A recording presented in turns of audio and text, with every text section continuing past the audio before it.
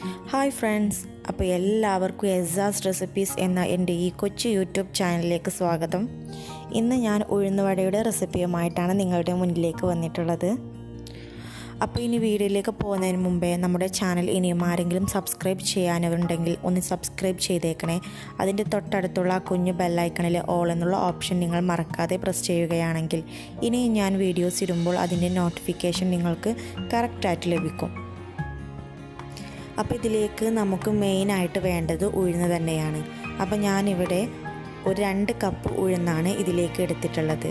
ഞാനിതൊരു ആറ് മണിക്കൂർ വെള്ളത്തിലിട്ട് കുതിർത്തിയെടുത്ത ഉഴുന്നാണ് കേട്ടോ അപ്പോൾ ഇനി ഇത് നമുക്കൊരു മിക്സിയുടെ ജാറിലിട്ടിട്ട് ഒന്ന് അരച്ചെടുക്കണം. അപ്പോൾ ഉഴുന്ന് അരച്ചെടുക്കുമ്പോൾ മാക്സിമം വെള്ളം ചേർക്കാതെ അരച്ചെടുക്കുന്നതാവും കേട്ടോ ഏറ്റവും നല്ലത്. അപ്പോൾ നമ്മൾ മിക്സിയുടെ ജാർ ഉപയോഗിച്ചിട്ട് ഉഴുന്ന് അരച്ചെടുക്കുകയാണെങ്കിൽ നമുക്ക് ഒരല്പം വെള്ളത്തിന്റെ ആവശ്യം വരും. അല്ലെങ്കിൽ ഉഴുന്ന് അരഞ്ഞ് കിട്ടില്ല കേട്ടോ മിക്സിയിൽ അപ്പോൾ ഞാനിവിടെ ഒരു ഏകദേശം ഒരു മൂന്ന് ടീസ്പൂണ് വെള്ളം ഒഴിച്ചിട്ടാണ് ഞാനിത് അരച്ചെടുത്തത്. പിന്നെ അരക്കുന്ന ആ സമയത്ത് എനിക്കൊരു മൂന്ന് ടീസ്പൂണും കൂടി വെള്ളം ആവശ്യമായിട്ട് വന്നു. അങ്ങനെ മൊത്തത്തിൽ ഞാനിവിടെ ആറ് ടീസ്പൂൺ വെള്ളമാണ് ഇത് അരച്ചെടുക്കാനായിട്ട് ഉപയോഗിച്ചിട്ടുള്ളത് കേട്ടോ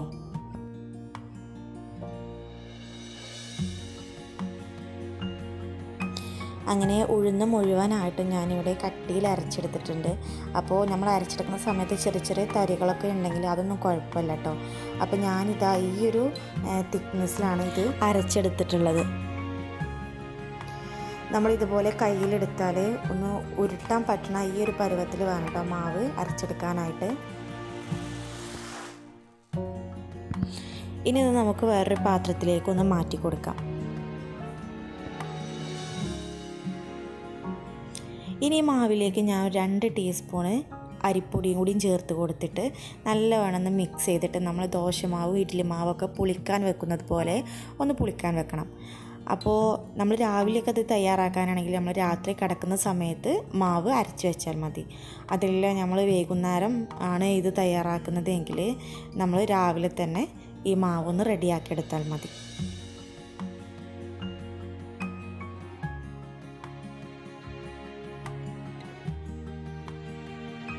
ഇനി ഇതിലേക്ക് ഞാനൊരു മീഡിയം സൈസ് സവാളയുടെ പകുതി എടുത്തിട്ടുണ്ട്. അത് ചെറുതായിട്ട് കനം കുറച്ച് അരിഞ്ഞതാണ്.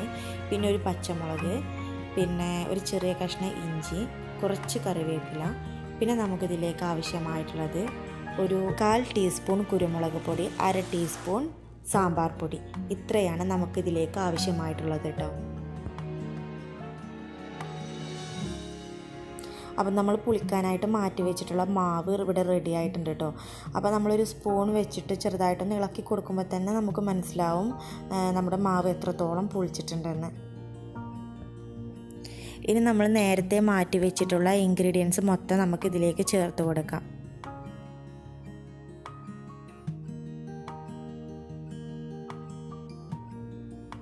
അപ്പം നമ്മൾ ഫ്രൈ ചെയ്തെടുക്കുന്ന ആ ഒരു സമയത്ത് വേണം കേട്ടോ നമ്മൾ എടുത്ത് വെച്ചിട്ടുള്ള ഇൻഗ്രീഡിയൻസ് മൊത്തം നമ്മൾ ഇതിലേക്ക് ചേർത്ത് കൊടുക്കാനായിട്ട്. ഇനി ഇതിലേക്ക് നമുക്ക് ആവശ്യത്തിനുള്ള ഉപ്പും കൂടി ചേർത്ത് കൊടുത്തിട്ട് നല്ലവണ്ണം ഒന്ന് മിക്സ് ചെയ്തെടുക്കാം.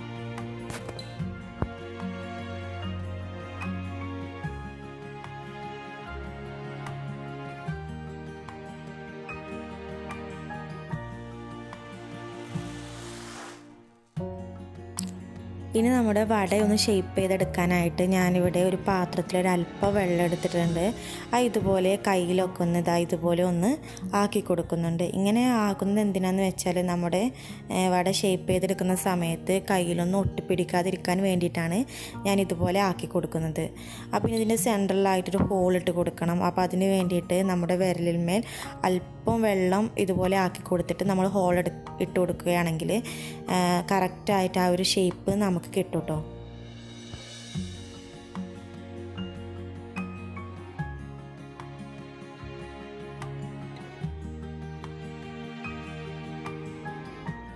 ഇനി നമുക്ക് നല്ല ചൂടുള്ള എണ്ണയിലിട്ടിട്ട് ഒന്ന് ഫ്രൈ ചെയ്തെടുക്കാം.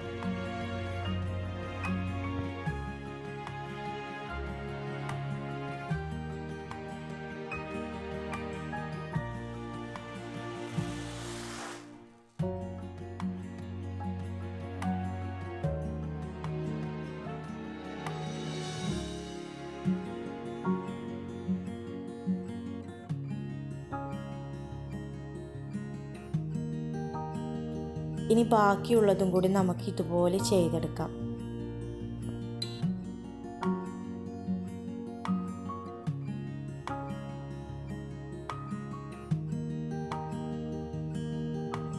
അപ്പോൾ ഇത്രേ ഉള്ളൂ കേട്ടോ ഉഴുന്നുവട തയ്യാറാക്കാനായിട്ട്. അപ്പോൾ എല്ലാവരും ട്രൈ ചെയ്ത് നോക്കണം. നിങ്ങൾക്ക് എന്റെ വീഡിയോസ് ഇഷ്ടമാവുന്നുണ്ടെങ്കിൽ നിങ്ങൾ ലൈക്ക് ചെയ്യാനും ഷെയർ ചെയ്യാനും സബ്സ്ക്രൈബ് ചെയ്യാനും മറക്കരുത് കേട്ടോ